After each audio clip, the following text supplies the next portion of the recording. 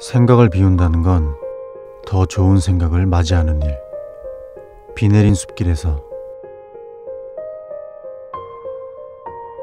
그냥 날이 좋아서 마냥 다 좋은 그런 날.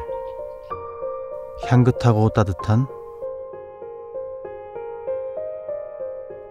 찻잔 속 밤하늘에 당신이 떠오른다.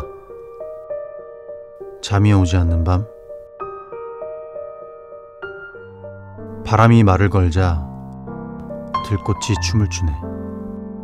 일렁이는 마음엔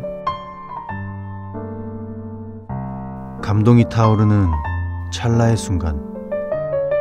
함께하고 싶은 지금. 제주. 그리고 한 잔의 차에서 나를 만나다. 오솔록 그리고 유난.